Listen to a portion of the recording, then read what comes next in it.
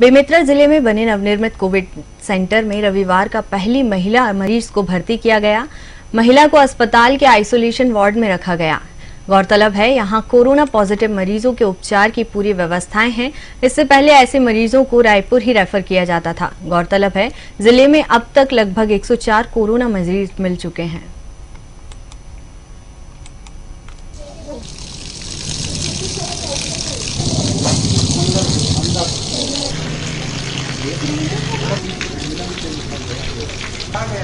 ये हमारे नवागढ़ ब्लॉक का जो सिमरिया है वहाँ से एक पेशेंट आया है। उसको हम लोग आज एडमिट कर रहे हैं।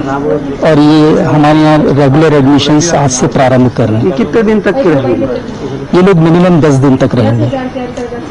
उसके बाद और उसके बाद इनको होम क्वारंटाइन में रहना पड़ेगा, घर पे अपना अलग रहेंगे।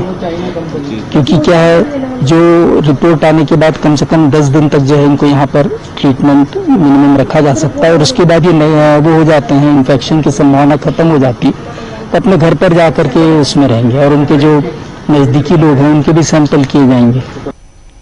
भिंड ज़िले के महगांव